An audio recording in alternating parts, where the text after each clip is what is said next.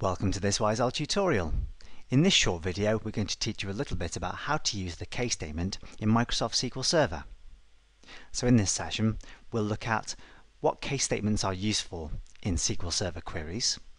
We'll then move on to working with three different examples, one to do with numbers, one with text, and one with dates. So let's get started. In a SQL Server query, you use a case statement to test different conditions and then return different answers based on whether those conditions have been met. It's kind of like an if function in Excel, or a set of nested if functions, or maybe even a VLOOKUP function if you've encountered those. So in this example, we're going to categorize our films by their running time in minutes. So we'll create a description that will be short, medium, or long based on their running time. So to start with, I need to add a new calculated column to my query to my select list. So I start by adding a comma and the word case. Now my case statement is going to span multiple lines, and at the end of my case statement, I need the word end, so I might as well fill that in right now.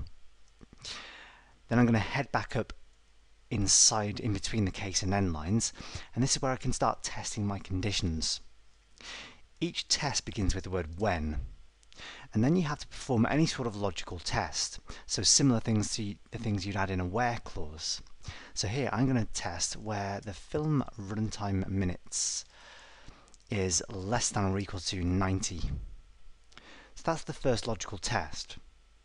On the same line, I'm going to write in what I want to happen if that condition is met. So if I, I find that the film is less than 90 minutes, then I want to provide the description of short. And to begin with, that's all you need for a simple case statement. You can test one condition and give one answer if that condition is met. If I execute this query, I'll find that most of my films return the word null, but hopefully you can see down here the film that is exactly 90 minutes long provides me with the answer short, and if I scroll down a little bit further, I should find a couple more in the database. There we go. The nice thing about case statements, even though they look a little bit complex to begin with, is that to add further conditions is really, really straightforward. I'm going to cheat slightly by copying this entire line and after copying it I can just simply paste it in a couple more times. Then all I need to do is tweak the numbers that I'm testing for. So I'm going to test for less than or equal to 150 minutes. That will be a medium film and then less than or equal to 180 minutes. That's going to be a long film. And then I'd also like to take into account anything else. So any running times that are longer than 180 minutes, I'd like those to be handled with this short else statement, and those will be those will be called epic films. So you can see, even though it's quite long and complex, there's a lot of consistency in the way you write your conditions, which is quite nice. So if I execute this query one more time, I should get a description for every single film that has a running time in minutes value. And there we go.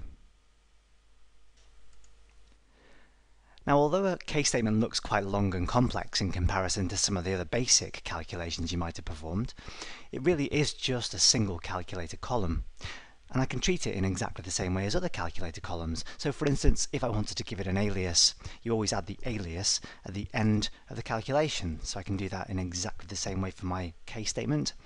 Add an as film duration, and if I execute the query, it provides me with a neat alias, a neat title for the column.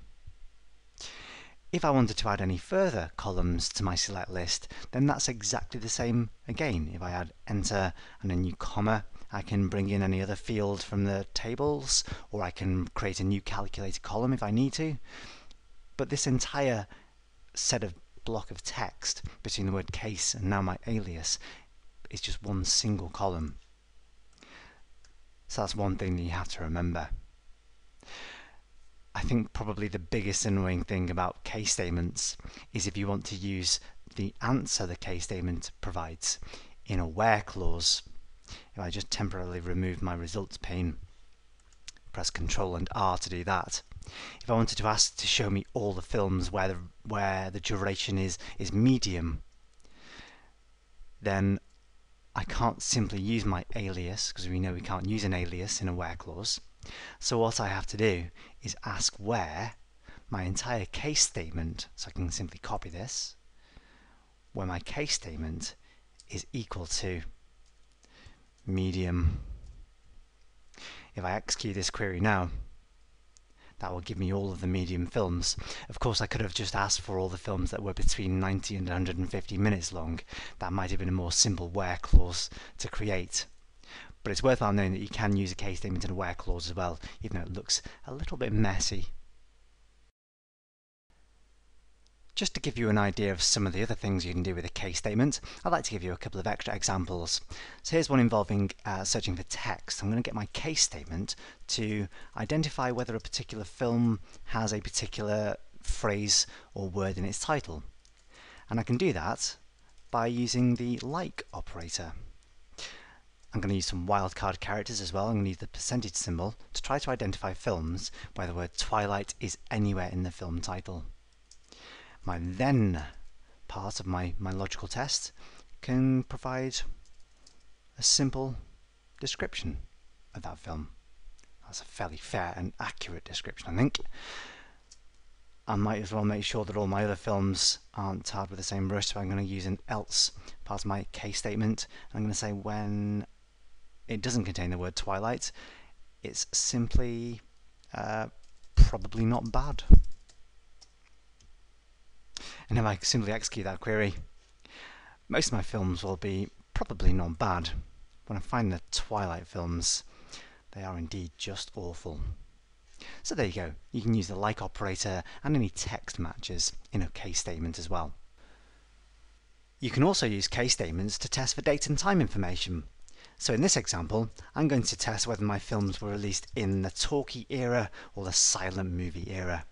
Now, according to Wikipedia, the first, the first non-silent film, the first talkie, was released in October 1927, and it was called The Jazz Singer. So I can test when the film release date is less than 1927-10-01, then it's in the silent era. Else, it's in the talkie era, let's call it. And there we go. If I execute this query, I'll get my results. So we've seen case statements involving numbers, we've seen case statements involving text, and now case statements involving dates. If you've enjoyed this training video, you can find many more online training resources at www.wiseowl.co.uk.